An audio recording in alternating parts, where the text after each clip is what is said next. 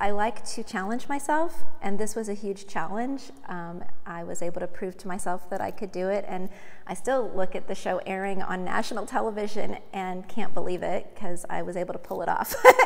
so um, I'm proud of the fact that I was able to do that. It was a lot of hard work. People have no idea. Um, they think that I'm just drinking champagne all day, which is definitely not the case. I wear a lot of hats, and um, but it was a really amazing experience and uh, very fulfilling. And I feel everyone in life has um, a passion that they need to figure out and find. And I found my passion in life, and I feel just really blessed to be able to do it. The most exclusive, luxurious location that we featured was in the Bahamas at Highbourne Cay. This is the gateway to the Exumas, and on the show, we island hopped to all of the different islands. So we went to uh, pet the pigs, swim with them, we fed the iguanas, and Highbourne Cay was this amazing place where the mega wealthy dock with these yachts for a couple days or for a week, and it was very exclusive, beautiful homes that overlooked the water. It was perfect. Okay, I'm gonna pour a little bit more of the bubbly for the next question. Now I'm ready. Okay, picking my favorite destination is like picking my favorite child, which is very hard to do, and I won't do that with my child, but if I had to for the destination, I would have to say Costa Rica.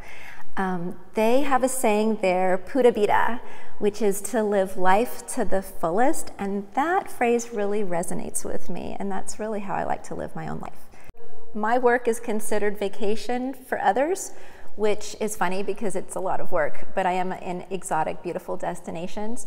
Um, when I am on vacation myself um, and not having to be glammed up for the camera, which is amazing to not have to worry about if your hair is frizzy and if your makeup's melting off and all of those particulars so that you can try to exude that um, camera ready magic.